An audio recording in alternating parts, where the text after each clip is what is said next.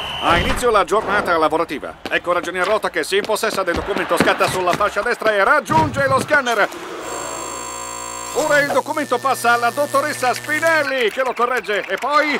Incredibile! Lo rimanda in stampa dall'altra parte dell'ufficio. Recupera l'avvocato Donello che si dirige verso la porta. Il pubblico esulta. Si lancia. No!